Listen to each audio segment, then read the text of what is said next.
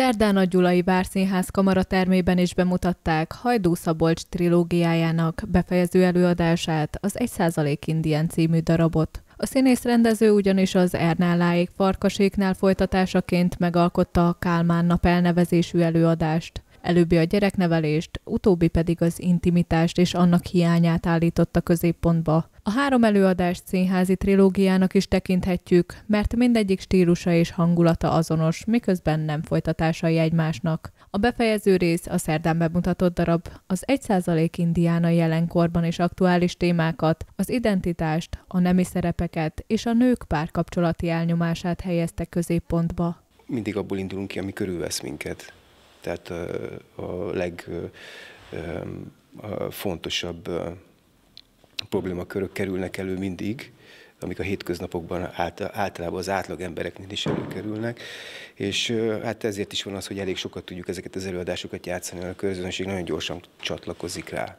mert mindenkinek megvannak ezek a, ezek a problémák a saját családjában, vagy a kapcsolataiban. Alapvetően fontos és mély dolgokról van szó, de próbáljuk ezt folyamatosan hát szórakoztató formában megfogni.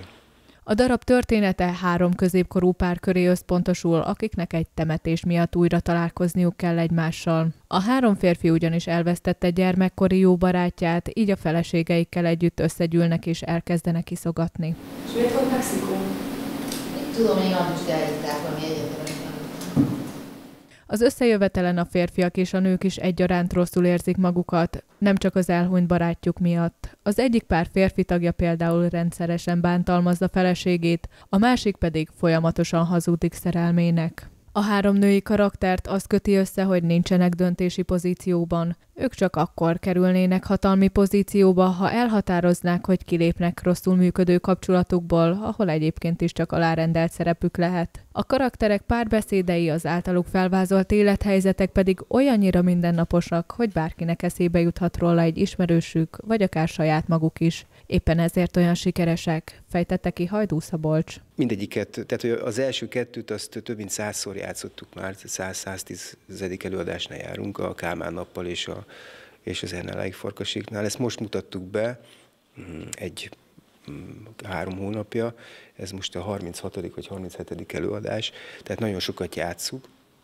Talán azt lehet mondani, hogy ez a legmélyebbre hatóbb és, és a legnagyobb hatáskiváltó talán a három közül, a trilógia a záródarabja, de ezt én így belülről nagyon nehezen tudom megítélni. Tehát mindenkinek nagyon más más a saját életközege. Az előadásról bővebben pénteken értékörző című műsorunkban is hallhatnak.